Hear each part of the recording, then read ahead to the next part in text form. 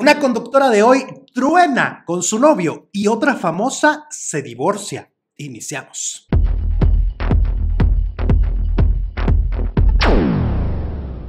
Bienvenidos como siempre a la información del mundo del espectáculo el día de hoy en fin de semana, dando un pequeño de resumen de algunas notas que se nos pasaron, algunas notas que no comentamos ampliamente y que hoy son dignas de platicarlas y conversarlas. Y bueno, iniciamos, iniciamos con Héctor Suárez, papá, que estuvo en un evento y a mí lo que me sorprendió en ese evento fue cómo se expresó de su ex representante y amigo en aquel momento, Guillermo Vigers.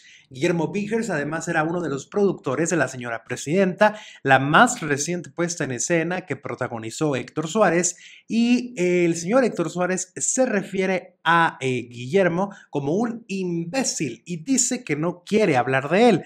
Recordemos que terminaron en un gran pleito. Guillermo dio una entrevista a Grupo Fórmula hace algunas semanas, en donde fue, como siempre, un caballero, pero sí dijo que las cosas habían terminado verdaderamente mal, algo que no es una sorpresa en la historia de Héctor Suárez.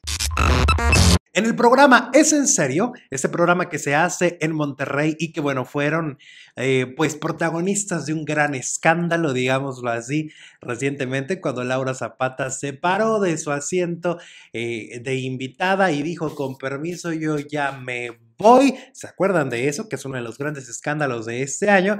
Estuvo en ese programa la cantante Yuri, quien por cierto también bromeó sobre aquel episodio que marcó al programa ya para siempre. Ya vamos a recordar a ese en serio por el programa donde se paró Laura Zapata. Pero bueno, la entrevista estuvo muy bien, la verdad es que la llevaron muy bien los conductores, tanto Kiki como, Kike como Adrián. Eh, fue una entrevista muy interesante, fue una entrevista en donde Yuri nos platicó eh, de sus excesos, nos platicó de cuando tocó fondo, que estuvo a punto de suicidarse y escuchó una voz que le decía, no te suicides porque si no, no vienes para acá.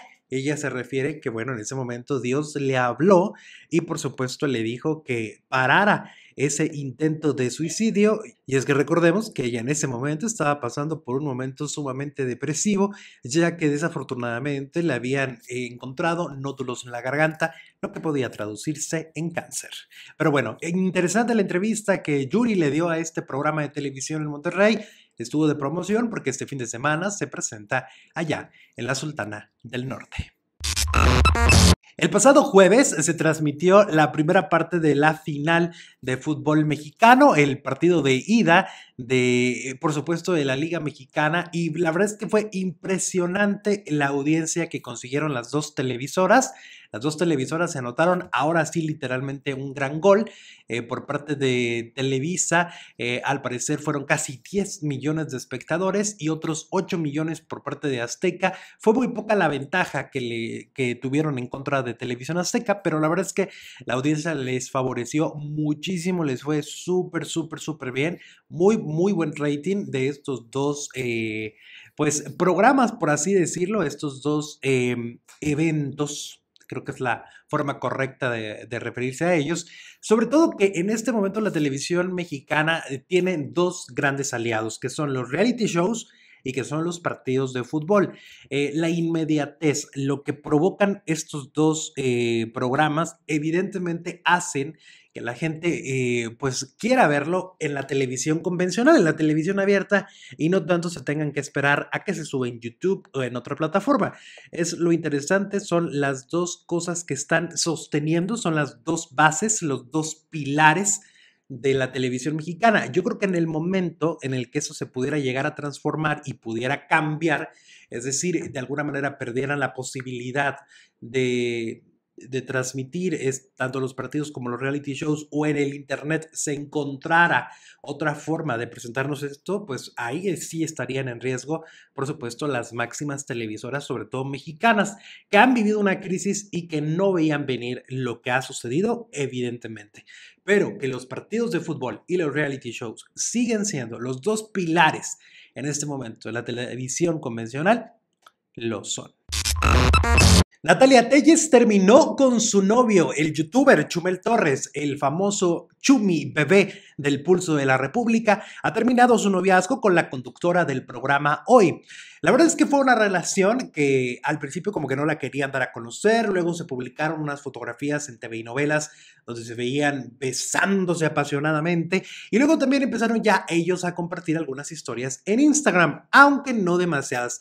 La verdad es que yo los veía como una pareja bastante particular y una pareja muy sui generis, porque no los veía como tan amorosos, al menos en lo que presentaban, se hablaban como, como cuates. No sé si hoy muchas parejas se hablan así, pues de tú, güey, no, esta güey, no, o sea, no se hablaban, realmente yo no veía que se hablaban con tanto cariño a través de las historias de Instagram. Pero bueno, Natalia Telles es la segunda relación que tiene como muy pública. Recordemos que fue novia de Christopher Uckerman, el ex integrante de RBD, y pues ahora, pues eh, esa relación también se convirtió pues en una relación muy publicitada, aunque ellos no lo buscaron, evidentemente, pero fue por, por esta cuestión, pues que él pasa por un muy buen momento de fama y reconocimiento, al igual que ella, ¿no? Ella está en el programa de revista más importante de la televisión mexicana y Chumi Bebé, pues tiene programa de radio, tiene programa de, de internet, tiene programa de televisión, vaya, y tiene stand-up y está en un momento de popularidad fuerte. Por eso es que fue una pareja que nos llamaba mucho la atención, pero ya terminaron. Ah, hubo otros rumores por ahí que salieron de que había una mala relación y que, eh, que no estaban tan bien. Miren, yo no lo sé. Eh, lo que yo les puedo decir en ese momento es que esta relación ha terminado. Otra relación que ha terminado es la de Claudia Lizaldi. ¿Se acuerdan que en mayo de este mismo año, en el 2018, mayo 2018, se publicó a través de una revista de espectáculos que había una infidelidad por parte de eh, la pareja de Claudia Lizaldi. Eh, Claudia salió, lo defendió, lo desmintió, pero ahora les podemos confirmar que esto fue completamente verdad. Y es que a través de un comunicado eh, de sus redes sociales, pues Claudia Lizaldi dio a conocer esta semana que se separaba de su marido y que iba un divorcio en puerta. Textualmente dijo, compartió, comparto con ustedes una de las decisiones más difíciles de mi vida después de nueve años de hacer familia como una pareja que intentó trabajar en conjunto para revelar lo mejor de cada uno, llega un nuevo ciclo para seguir como amigos, creando la bella familia que logramos, que es un sueño compartido y siempre lo será. Las razones para decidir finalmente el divorcio permanecerán en nuestro círculo cercano, a quienes agradezco con el alma el amor con el que me han abrazado y con el que abrazarán siempre a mi familia independientemente de rumores, lo que es verdad y lo ha sido siempre es el amor y desde este espacio ambos sabemos que estamos decidiendo lo correcto para los cuatro integrantes de esta historia. Finalmente agregó, la familia es de los regalos más extraordinarios de esta vida, me quedo con la paz de saber que trabajaré por la mía hasta el último día. Fue lo que publicó Claudia Lizaldi. Definitivamente pues es triste el rompimiento sentimental y más cuando hay una familia ya eh, unida y y en este caso hijos de por medio. Pues bueno, así es como da a conocer Claudia Lizaldi. Ahora, pues esto, este divorcio de alguna manera reafirma la nota que se publicó porque se hablaba de que las cosas no estaban bien y no estaban bien. Y yo creo que es muy complicado para ellos, sobre todo para Claudia, pues de alguna manera dar carpetazo, dar, dar, dar, como que, ok, esto no, esto no fue importante, esto no fue trascendente, pero pues a nivel público te señalaron como una mujer que estaba aguantando una infidelidad definitivamente no es la mejor historia para terminar una relación, pero pues qué historia termina bonito, ¿no? Casi todas terminan en, un, eh, en algo doloroso, sobre todo. Así que bueno, pues ahí está. Chumel Torres y Natalia Telles terminaron, al igual que Claudia Elizaldi anuncia su divorcio esta semana.